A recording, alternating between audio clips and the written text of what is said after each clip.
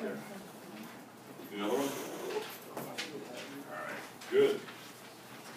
So this is this uh, solubility table here allows you to predict if something is water soluble or not.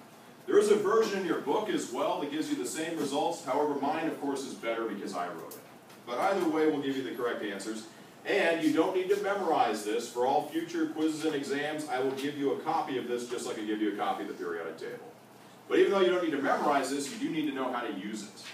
Let's go through this list here.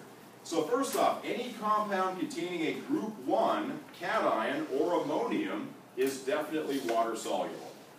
Now we mentioned before, and uh, back in nomenclature times here, remember we treat ammonium just like a group 1 cation for many, many reasons, and here's one of them. So ammonium compounds are water soluble just like group 1 compounds are.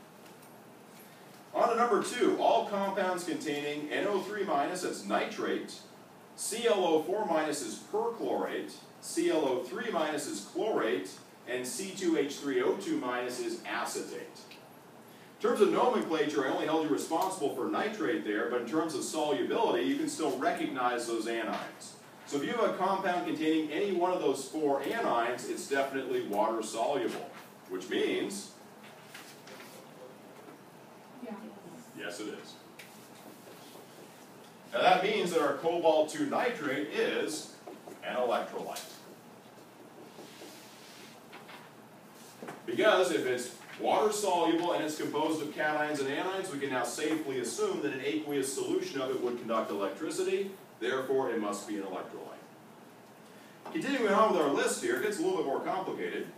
Number three here, all chlorides, bromides, and iodides are soluble, but there's some exceptions this time. So if your cation is silver 1 plus, lead 2 plus, or mercury 2 2 plus, then those particular chlorides, bromides, and iodides are insoluble. All others are soluble. Mercury 2 2 plus is kind of a weird cation there. That's actually a polyatomic cation, just like ammonium. If Hg2 has a collective 2 plus charge, what's the charge in each metal, or in each mercury atom? 1 plus. So if you ever see a mercury 1 salt, that's the structure you're going to see. So for example, mercury 1 chloride is Hg2Cl2. Each mercury there has a 1 plus charge. Kind of weird. Under rule 4 here, kind of like rule 3, all sulfates are soluble except when those sulfates are paired with one of the, one of the following cations here.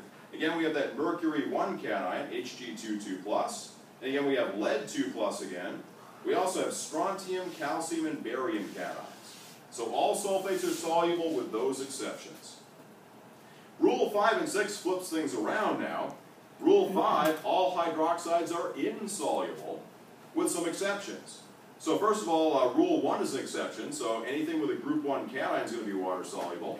Also, calcium, strontium, and barium hydroxides are also soluble, but all other hydroxides are insoluble. And then finally, rule 6. All compounds containing phosphate, sulfide, carbonate, what's SO3 2 minus? That's sulfite. SO4 2 minus is covered under Rule 4, that's sulfate. SO3 2 minus is sulfite. Don't have to worry about nomenclature there, but if you see that anion, just know that's an insoluble compound. Any phosphate, sulfide, carbonate, or sulfite is going to be insoluble unless rule number 1 applies. So looking at this list here, you should be able to look at any chemical compound now and determine whether it's water soluble or not, and therefore determine if it's an electrolyte. What about, for example, uh, this material right here? What would that be called? Careful.